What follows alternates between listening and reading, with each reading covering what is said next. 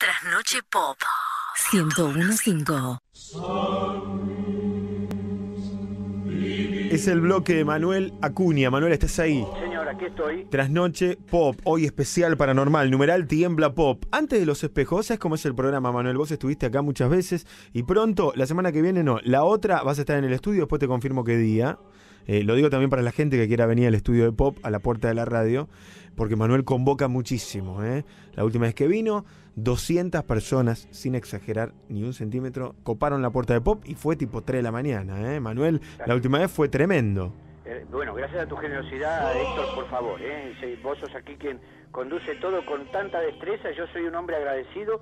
A vos, a tu persona, no me canso de decirlo, que además te admiro.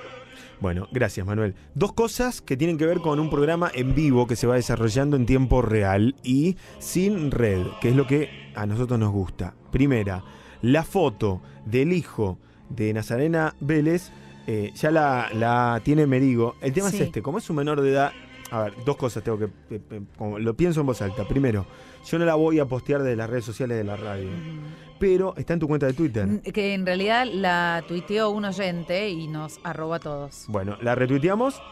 La foto igual está pública porque ya la subió en algún momento la propia madre del chico, ¿no? Quiero decir, Nazarena la subió, por eso la foto puede replicarse. Bien. Eh, por un lado, la foto donde se ve al nene, vola, no te quiero decir volando, está suspendido en el aire como Sí. si alguien lo sostuviera. Sí, en realidad la sensación es como si alguien lo hubiera agarrado. ¿Vieron como cuando se agarran a los gatitos? Del- de la parte del de, el pellejito del gato de arriba y lo sostiene en el aire. Esa es la sensación. Daría la sensación como que alguien eh, estuviera agarrando la remera del nene, pero no se lo ve.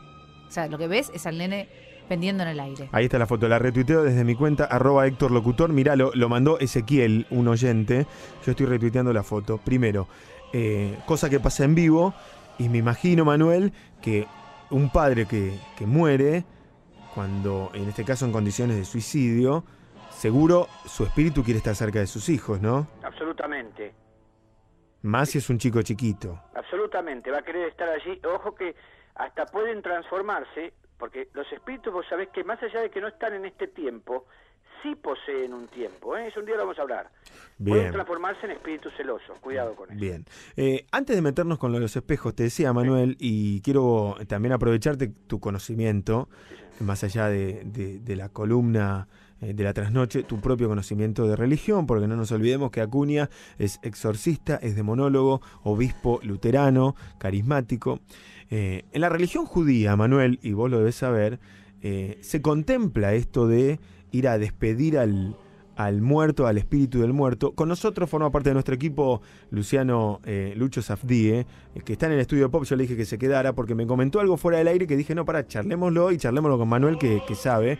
Eh, Lucho, podés saludar a Manuel también, te escucha, ¿eh? Buenas noches, Manuel. Mucho gusto. Un, un gusto muy grande, un honor este, estar hablando contigo, Lucho, ¿eh? por favor. Contanos lo que, me, lo que nos decía fuera del aire, Lucho. No, porque estaban hablando de, de la relación de los espejos con, con los espíritus y yo me acordé que, bueno, en, en la tradición judía, cuando una persona fallece, la familia hace lo que se llama la Shiva, que viene el número 7, que son 7 días donde se- la familia está en la casa, la gente la va a saludar, se sientan en sillas bajas, entre otras cosas, y entre otras cosas lo que, hace es- lo que se hace es durante esa semana se tapan todos los espejos de la casa. Manuel, esto eh, digamos, es como una especie de, de despedida. eh, ¿por, por dónde viene esa tradición? Esa tradición llega exactamente la Shiva, que es el periodo de luto de siete días, eh, que está muy en lo cierto nuestro hermano querido. Se dice que ahí, ahí en ese momento, este, si los espejos no están cubiertos, Héctor, el espíritu del difunto puede quedar atrapado en alguno de los espejos de la casa, siendo incapaz de pasar a la otra vida. Esto es lo que nos indican este, desde la tradición, la religión judía. ¿eh? Así Es- como, así como también lo que hace, se, hace- se destruyen los, los zapatos de, de la, per- eh, dentro de quien respeta, eh, digamos, ortodoxamente la tradición. Ah. Los zapatos, el calzado, es lo primero que, que hay que destruir, que no se puede regalar ni nada, sino que hay que romperlo y tirarlo. Exactamente, y además esto también se refleja en todos esos días. ¿Por qué en siete días? Porque el alma del difunto puede visitar los sitios por los que pasó en vida, ¿verdad? Entonces, eh, sobre todo la casa donde habitó, y de ahí que eh, se tapen los espejos para que a su paso por la casa el alma no quede atrapada en ninguno de ellos.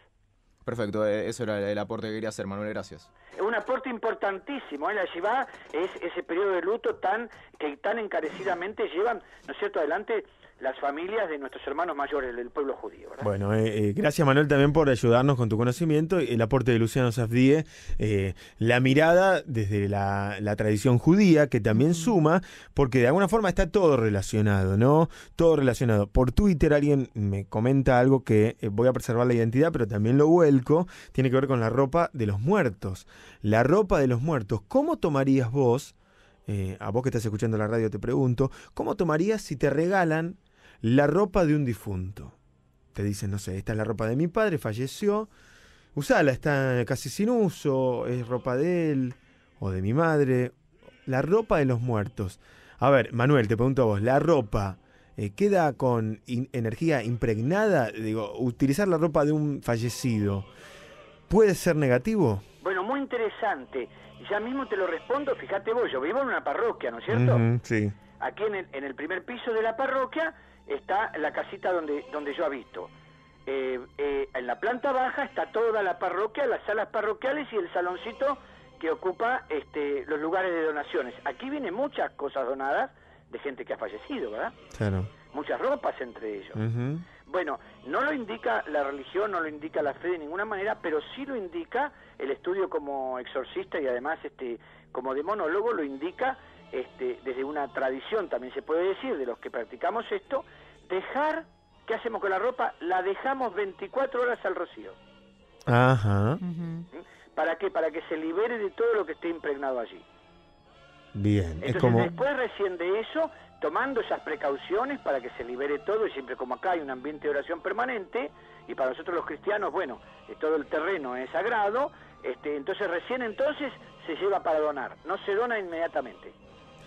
Un eh, familiar mío, de- que no voy a decir quién es, que se queden tranquilos todos, en algún momento a mí me contó. eh, a ver, ¿cómo hago para contar la historia sin dar detalles para, por si está escuchando? Bueno, le pasó una tragedia en esa vida, en su vida, a este familiar. Y en un momento me contó que después de esa tragedia que vivió toda la familia, en su departamento tenían un perchero en un rincón del departamento. Y claramente en el perchero a veces había colgada una cartera, un bolso y ropa. Parece que habían dejado la ropa de una persona que había fallecido, que estaba todavía en la casa y estaba colgada en ese perchero. Y esta persona que eh, me contó esto en primera persona, como no tengo por qué no creerle, me dijo que una noche caminando por el pasillo de su departamento cuando va para el baño, para la cocina a tomar algo, siente, percibe que había alguien detrás de él. Se da vuelta y ve cómo ese sobre todo que siempre estaba colgado en el perchero estaba puesto, voy a decir algo que va a parecer gracioso, pero como si lo estuviera puesto, como si lo tuviera puesto el hombre invisible, el sobre todo con la forma humana sobre Sí. alguien que no estaba, sobre una entidad transparente. El sobre todo lo está, estaba eh, puesto como si lo tuviera puesto una persona. Y cuando esta, este familiar mío se da vuelta y mira, el sobre todo cae al piso. Eh, me, lo, me lo contó en primera persona, Manuel. ¿eh? Y hay que creerle, porque, ¿sabes? Es, es así. Es decir, no solamente eh, eh, puede haber esa energía respecto a una ropa, sino también a un objeto. Es decir, los objetos de las personas fallecidas, sus objetos de querencias, incluso cuando estudiamos, ¿te acordás las formas de comunicación dentro de la casa de lo que puede ser una, una presencia? Objetos que aparecen, que eran de esa persona fallecida y aparecen en algún lugar. Claro. Claro. Entonces, ahí, ahí también tenemos un hecho relacionado directamente con la energía de la persona fallecida y algo material. O sea, la influencia, hoy podemos decir, de, una, de un espíritu está sobre lo material o sobre los elementos electrónicos, ¿sí? Claro. Claro, claro, que Pero, queda o ahí. la supervivencia del alma es una realidad, está probada. Numeral Tiembla Pop. Todos los que estén escuchando, por favor, eh, háganlo saber con un eh, tweet, numeral Tiembla Pop, y de paso pueden también dejar su consulta para Acuña. Numeral Tiembla Pop. Numeral Tiembla Pop. Judy nos escucha, nos escribe, dice, yo aún no destapo el espejo que usó mi papá para afeitarse por última vez. Todo está tal cual lo dejó, me parece un buen pie, Manuel, para que nos metamos ya en el tema de los espejos. Encantadísimo. Bueno, vos sabés que algunos dicen que los espejos reflejan entonces la sombra del alma, como te decía antes, ¿no? Esto es decir, puede pudiendo mostrar de esta manera la, la, naturaleza verdadera de la persona que es reflejada. De aquí brota una leyenda, y Vero también eh, la sabrá muy bien, y la vemos en las películas y demás. Drácula no se refleja en el espejo, ¿verdad? Porque no tiene alma. Ajá. Ausencia del reflejo refleja, tiene, muestra la verdadera naturaleza. De ahí, eh, de ahí, por un lado, eso que es extremo, en el caso del tema del vampirismo, y por el otro lado, es una de las herramientas más utilizadas por los adivinos, el espejo. Yo, em, el cuento que eh, comentaste el otro día respecto a la relación con el futuro es clarísimo, porque el primer espejo que se utilizó fue el agua, Héctor. Ah, claro. Y allí Nostradamus que hace revela futuro. O sea, también la tinta, la sangre y otros líquidos oscuros fueron utilizados, ¿eh? por ejemplo por los egipcios. Pero ya en el medioevo, los adeptos a las ciencias ocultas usaron espejos, cuencos de agua, piedras pulidas y cristales. ¿eh? eh Nostradamus, por ejemplo, utilizaba un cuenco de agua sobre un trípode de bronce. El interior de la taza estaba, estaba, se había pintado de negro. Y él tocaba el agua con una varilla para mirar luego la taza y tener hasta tres visiones en una misma, en un mismo momento. Y así hizo lo que conocemos nosotros como esas, esas, este, eh, eh, esas tremendas profecías de Nostradamus, ¿no? Bueno, el espejo también, en todas las películas de terror está la misma escena. La persona que se va a lavar la cara, levanta la vista y en el espejo ve que tiene la cara destrozada. Muchos han soñado con este, esta pesadilla recurrente de ir al baño, al espejo, mirarse y verse o otra cara o la cara destrozada que se le salen los dientes, ¿no? El espejo está siempre. Mira, incluso entre los serbo-croatas, Héctor, Vero, eh, eh, algunos de ellos, que son sobre esto el tema de los espejos de los croatas son muy particulares. Voy a dar un detalle. El, espejo es enterrado con el muerto. Ay, ay, ay. Ah, para evitar que el espíritu deambule y protegerlo de otros espíritus malos. Entonces, hasta se entierra al, al muerto con el espejo. Bueno, vos decías al principio lo del espejo eh, que se rompe si tiene, si, si trae siete años de desgracia y demás, ¿no es cierto? Sí. Bueno, ¿por qué se dice esos siete años de desgracia? Porque costaba prácticamente siete años hacer un espejo. Nosotros hace muy poco que podemos vernos claramente el rostro, ¿eh? Claro, bueno, eh, uno no toma dimensión, ¿no? Pero es cierto, en la historia del hombre eh, es algo nuevo relativamente, es de los últimos años. Claro. Antes se usaban los metales.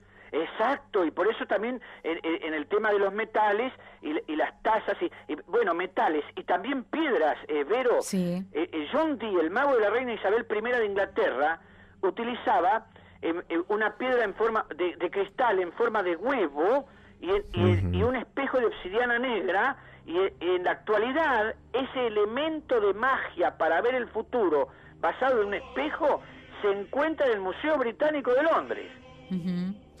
¿Qué pasa con eh, el espejo y la superstición también, no? Se te rompe un espejo ligado a la mala suerte. ¿Esto tiene alguna relación?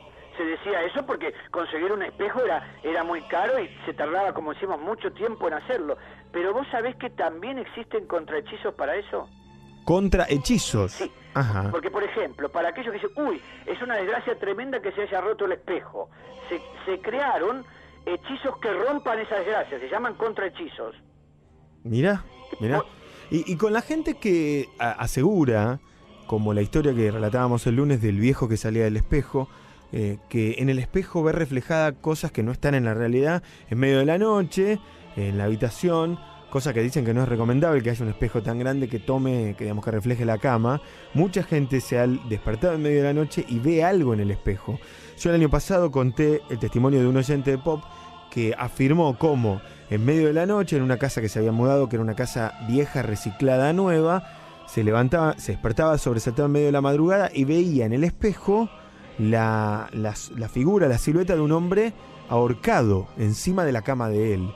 Y que cuando averiguó, efectivamente, en esa casa, en el lugar donde ahora existía una luz dicroica, antes había una araña y en esa araña se había ahorcado un hombre. como si el reflejo eh, del espejo fuera una foto, en este caso, del pasado, ¿no, Manuel? Absolutamente. Pero fíjate esto, Héctor, eh, eh, hay quienes dicen que se puede robar el alma en un espejo. Es fuerte. eh, a ver, en un espejo, en la habitación, eh, en una habitación que está oscura, es muy peligroso, dicen algunos, mirarse al espejo directamente. ¿Por qué, Héctor? Porque eh, eh, se puede abrir un portal desde el espejo también. Ojo con esto, porque yo, yo no voy a comentar los estilos de brujería, pero hay brujerías negativas con espejos y hay contrahechizos con espejos también. Es decir, el, el peligro cuál es? Que el uso, el uso del espejo en la noche, mirarte al espejo así eh, eh, en la habitación oscura, eh, eh, hace que se refleje del otro lado entidades que habitan o habitaron el hogar, habitan o habitaron el hogar y que de repente desde allí también te están viendo a vos. Es decir, vos los empezás a conocer, pero entonces ya también te ubican. Claro, claro. Es como eh, un, un túnel de. un- una autovía de doble mano. Vos ves para allí y de allí te miran para acá. Exactamente, y, de- y- y no olvidemos que muchas de esas entidades, Héctor, no son positivas. Hagamos una cosa, Manuel. Sí, señor. Te propongo algo. Sí, Ponemos un punto seguido. En la próxima hora, apenas yo termine de contar la historia, vuelvo al aire con vos alrededor de la... Cuando le quede media hora a este programa, volvemos a salir al aire con vos y desarrollamos eh, con tranquilidad eh, la columna sobre estas artes oscuras con los espejos. ¿Qué te parece? artes oscuras con espejos y voy a enseñar cómo romper una brujería con un espejo. ¿Cómo romper una brujería con un espejo? Acuña en vivo en un rato y tengo muchas consultas. Tenemos muchas consultas de la gente para vos, Manuel. Para servirte, Héctor, a vos y a los amigos. Un abrazo, hasta luego. abrazo. Chau. Eh, ahí está Acuña. Dame este audio, Mauro, nada más. Pasó en España. Marta, una chica a la que algunos médicos decían que tenía esquizofrenia, que estaba loca. Un sacerdote la vio y dijo, no, esta mujer está poseída. Desarrollaron un exorcismo. Hay 20 segundos, no sé cuánto dura el audio. Es muy corto, 20 segundos, lo que autorizó a la familia a publicar que compartimos con vos. El exorcismo a Marta. Escucha. interceder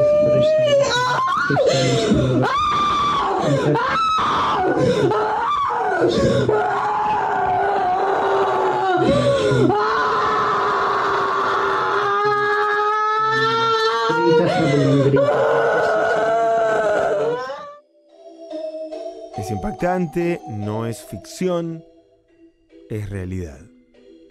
Exorcismo real. Eh, te lo voy a pedir de nuevo. Escuchalo de nuevo, pero escuchalo atento. por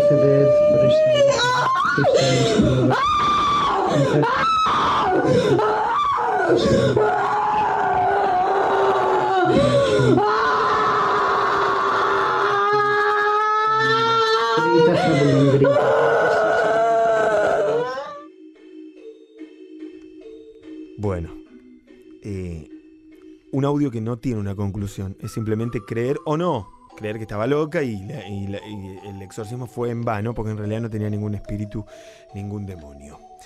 Les propongo algo, te propongo algo, Vero. Dale. Prepara la historia. El Palacio de los Bichos, Villa del Parque. Correcto. Prepara a Gonzalo Roldán, Ale. Ya hace contacto con él. Eh, tenemos mucho material, ¿eh? Muchísimo material. Yo te voy a contar la historia del perro herido. Eh, lo que viene, como decían en fútbol de primera, lo que viene, lo que viene. Lo que viene es Gonzalo Roldán y las historias paranormales de la casa de Esperando la Carroza. Lo que viene es Verónica Merigo contándote en primera persona la historia real de El Palacio de los Bichos. También venís vos con tu propia historia en el directo de Pop. Te invito a mandar la palabra vivo, un espacio, titula tu historia y mandanos WhatsApp 116405 1015. Te llamamos y en vivo contás tu historia.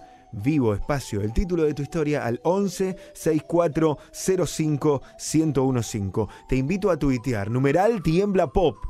Ya somos trending topic nacional en el puesto 40. Vamos, loco, tenemos que ser quinto, cuarto.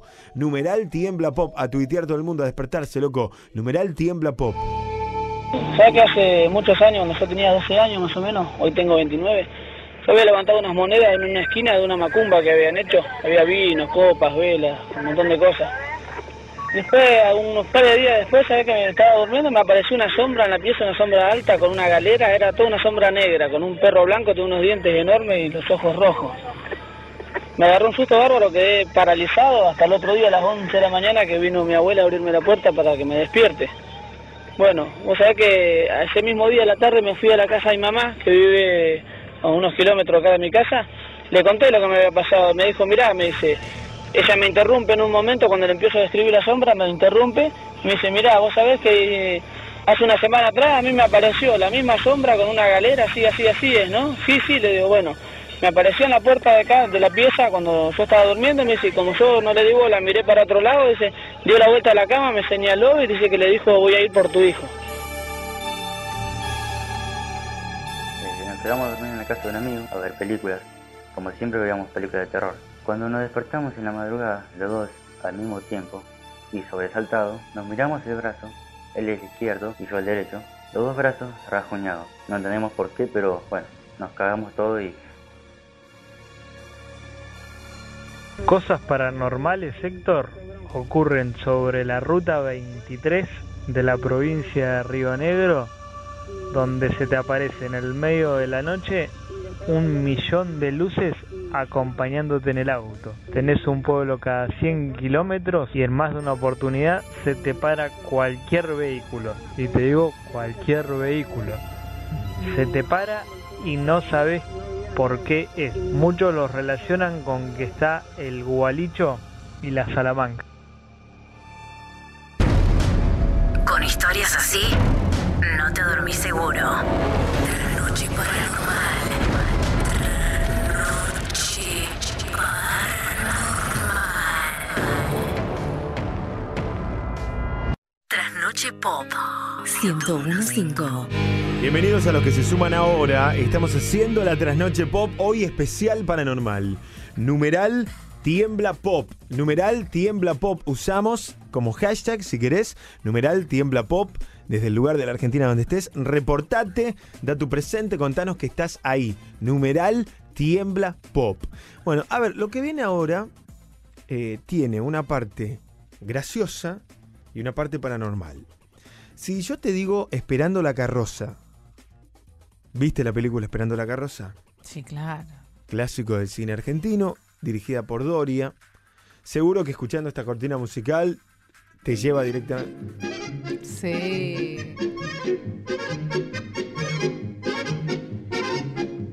Una película costumbrista argentina, graciosa, Betiana Blum, Brandoni, Tenuta, Julio de Gracia, China Zorrilla, Gazalla en la piel de Mamacora, una película que todos vimos y con la que todos nos reímos. Pero esa película se grabó, se filmó en una casa que está en Versalles y que aparentemente tiene una historia paranormal. Gonzalo Roldán es cineasta, muchos lo conocen porque popularmente se hizo conocido por haber filmado películas con actores reconocidos de la talla de Darín Esbaraglia, mezcladas con vecinos del barrio de Palermo, donde él tenía o tiene un videoclub. Ahora le voy a preguntar, no sé, eh, en el presente. Es el chico que se tatuó a Darín, que salió por todos los medios, que siempre persigue una causa noble, que es ayudar a la gente de los comedores, pero además cumple con su misión, la de hacer cine. Y ahora está filmando un documental sobre las películas argentinas, y en este caso eligió Esperando la carroza. Fue hasta la casa donde se filmó. La casa está igual, fue restaurada. ¿eh? Hace unos años estaba destruida, la restauraron para que esté igual al momento de la película. Y la casa tiene historias paranormales. Gonzalo Roldán está con nosotros en el teléfono. Hola Gonzalo, ¿cómo te va? ¿Qué tal Héctor? Buenas noches. Acá te escuchamos con Verónica Merigo, Gonza. Hola Gonza, buenas noches. Bueno, te comento Héctor, lo primero, que hoy filmamos seis horas de material y se borró todo. Bueno. Lo primero que te voy a decir es eso. Para arrancar. La tarjeta de memoria para arrancar nomás. Eh, día terrible porque filmamos con una, una persona en el elenco y, y la verdad no sabemos qué es lo que está pasando. Eh, es terrible la historia. A ver, Es eh, vamos por terrible. parte. La casa. ¿Dónde está ubicada físicamente la casa de la película Esperando la carroza? La casa está en el barrio de Versalles, donde se filmó toda la película. Eh, es una casa que tiene más de 90 años de construcción. La hizo la persona que vino, que ahora te voy a hablar quién es. Está en la calle de Chinagucía al 1200. Echenagucía al 1200, Versalles, Ciudad de Buenos Aires. Como vos decís, Gonzalo, no solamente se filmó, eh, la- se filmaron las escenas en la casa, sino enfrente, donde se acuerdan la escena donde Gasalla se asoma del balcón como mamá, como mamá Cora y creo que se le cae algo, lo putean. Después la escena de la casa donde vi- vivía Betiana Bloom, también está todo en el mismo barrio.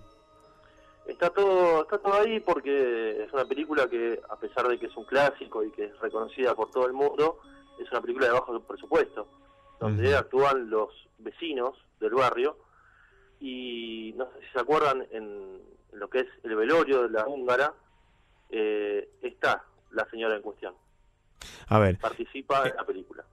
para, en la película hay una parte donde todos buscan a mamá Cora, creen haberla encontrado, reconocen un cadáver que no era y hacen el velatorio dentro de la primera pieza, la primera habitación, entrando a la casa, la primera a la izquierda, ahí la velaron.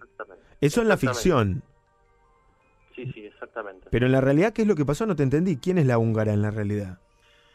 Te cuento, mira, lo que yo estuve investigando, los vecinos están medio reticentes a hablar de eso. Yo lo iba a hacer en el documental y me lo prohibieron, si no, no, nos dan su testimonio. Eh, la dueña de la casa se llama Flavia, yo tuve la oportunidad de, de hablar con ella, de entrar, estuvimos filmando ahí.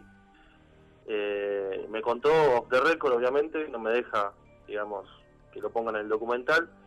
La historia es que una, una, una familia húngara se vino acá a Buenos Aires hace muchos años, ahí había un baldío, eh, donde está la casa ahora, y la construyó el marido, eh, y tenían dos hijos.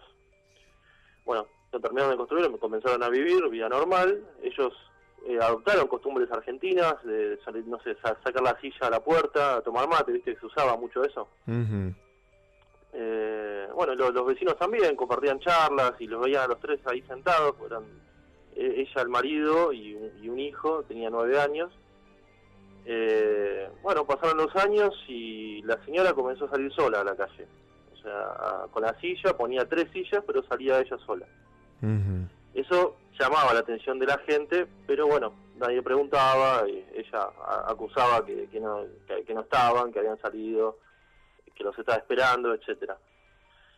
La cosa es que jamás aparecieron eh, el padre y el hijo. Nadie sabe por qué. Bueno, ya empiezan a ocurrir cosas extrañas, ¿no?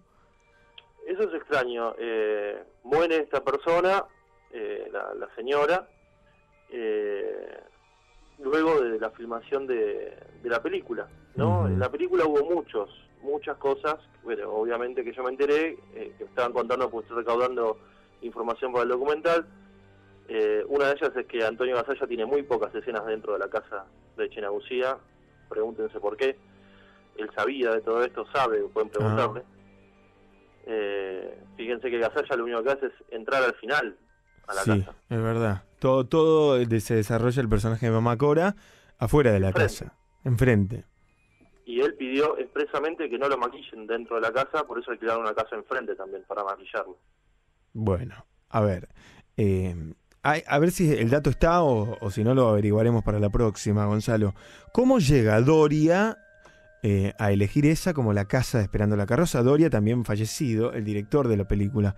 ¿Por qué fue esa y no otra la casa? Él se enamoró de esa casa, ella, eh, la, la dueña de la casa buscaba locaciones porque era amiga de la productora de la película. Eh, esto es lo que me cuenta Flavia, ¿no? La dueña. Ella misma eh, estaba en busca de las locaciones y tiene una reunión con Doria y Doria se quedó enamorado de la casa y elige la casa de ella para no sabe qué es lo que pasó, que no era para la película, se juntaron ahí para charlar sobre la película y Doria elige esa casa. Hay una realidad, hay una realidad también que, que muchos conocen, y es que eh, muchos de los diálogos de la película fueron improvisados.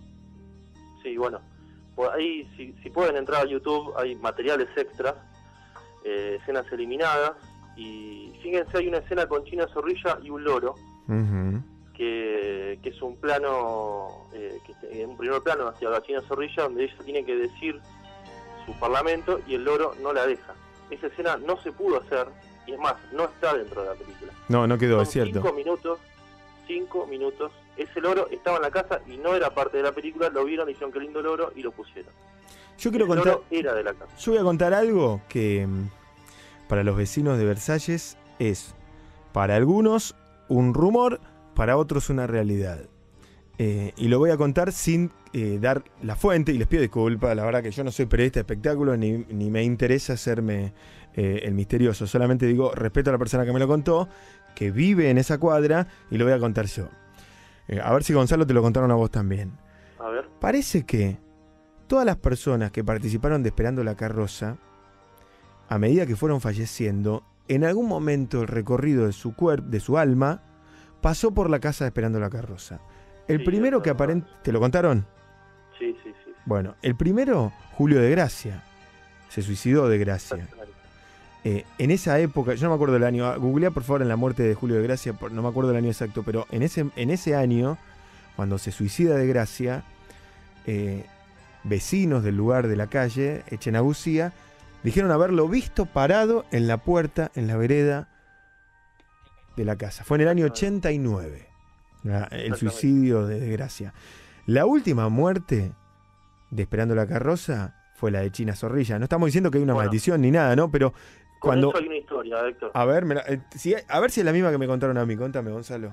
Eh, a partir de, de la muerte de China, que te juro que la amo y para mí es, es increíble actriz y persona, eh, se corta el agua todos los domingos.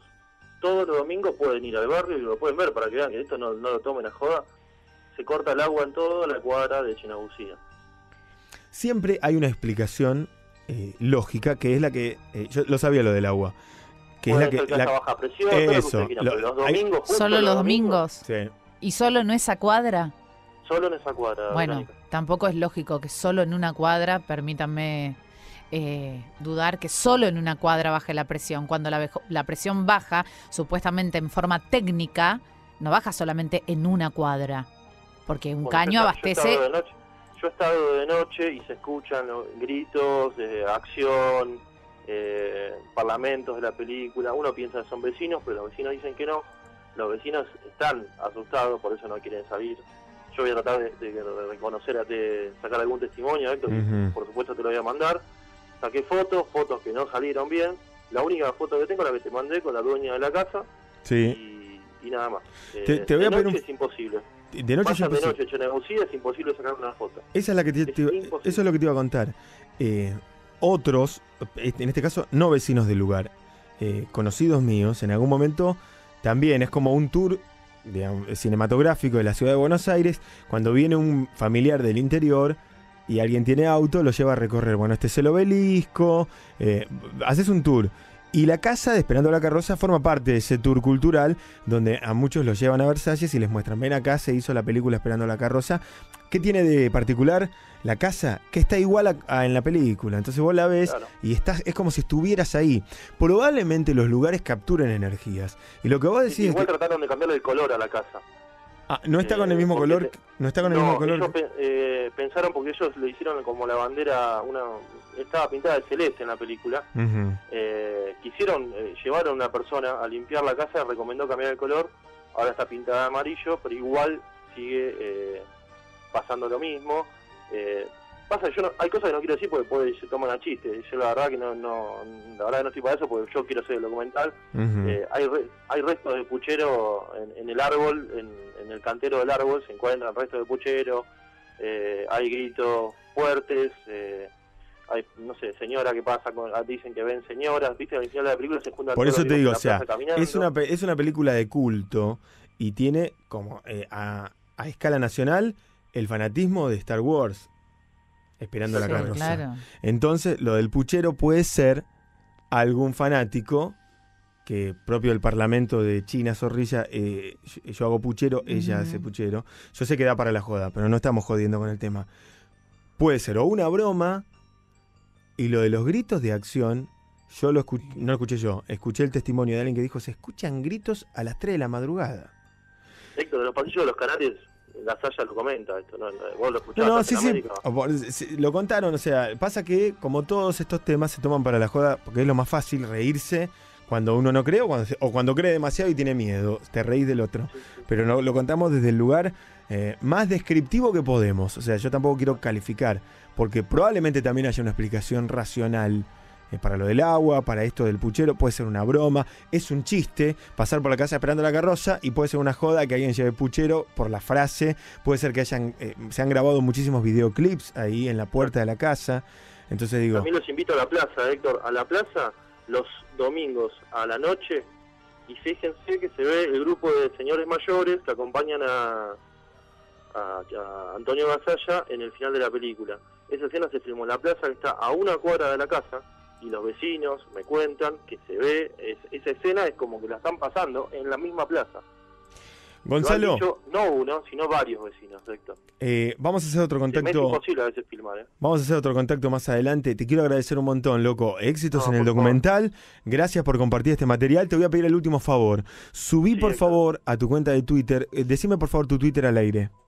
Arroba Gonmatrix. Arroba Gonmatrix.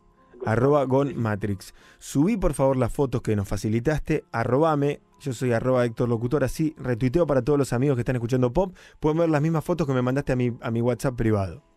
Bien. ¿Las, Bien. las, las podés subir a Twitter? Sí, sí, sí, cómo no. Lo último te estoy diciendo Sí. que se está, la, la, la casa había sido restaurada y se está resquebrajando la pared de la entrada. Donde está la placa que han puesto, que es, eh, la- bueno, te vamos, vas a ver la foto que te vamos a Ujú. dar, está toda resquebrajada y estaba pintada hace muy poquito. Gracias, Eh, Gonzalo. Me despido con esta información. Te mando un Un abrazo. saludo. Por Beso. Arroba Gonmatrix. Seguilo y ahora va a subir las fotos. Creer o no, siempre tratamos de ser lo más eh, descriptivos posible. Esto que cuenta, realidad o no, no es ficción. Testimonio de gente que dice haberlo visto. Bueno, atención, ¿es una tanda lo que viene? Una tanda y a la vuelta la historia del castillo, el Palacio de los Bichos, que va a contar, pero también vos estuviste presente en el lugar, Vero. Sí, de hecho tuve la oportunidad una vez de entrar hace mucho tiempo cuando mm, ese lugar era un spa. Habían logrado instalar un spa muy pero muy lindo. Incluso hay fotos de figuras reconocidas del ambiente que han ido a ese lugar y a la inauguración de ese lugar. Al poco tiempo quise grabarlo para un programa de la mujer que había en ese momento y ya no me dejaron porque mm, comenzaban a tener problemas y comenzaban a no recibir gente y, y al poquito tiempo lo cerraron. ¿Dónde está ubicado físicamente el lugar?